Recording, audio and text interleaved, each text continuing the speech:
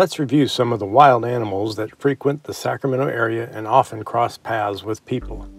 Black bears don't frequent the Sacramento area, however, they're common in the Lake Tahoe region to the east and in the Capay Valley to the northwest. The bears recently at UC Davis most likely come from the latter direction. Mountain lions. They prompt considerable alarm when they're seen in residential areas. That happens occasionally near Sacramento, usually on the east side of the county, closer to the Sierra Nevada foothills. One recently roamed into a Natomas neighborhood. Coyotes are native to California. They live throughout the state. Coyotes are hunters, but they're also very adaptable, so wildlife officials encourage residents to make sure trash and food waste are safely stored to discourage them from becoming scavengers in residential areas. Rattlesnakes, they are very common in California.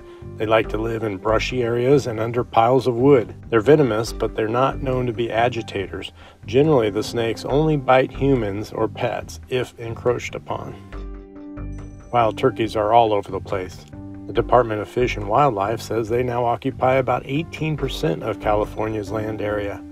They don't pose much, if any, threat to house pets. For humans, our relationship with turkeys in urban Sacramento is mostly characterized as a nuisance.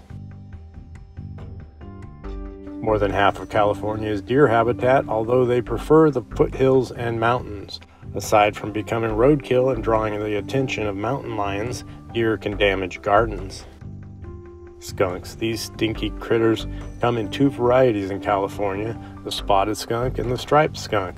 The striped skunk frequents residential areas. Skunks are most active at night, so they usually are smelled but not seen.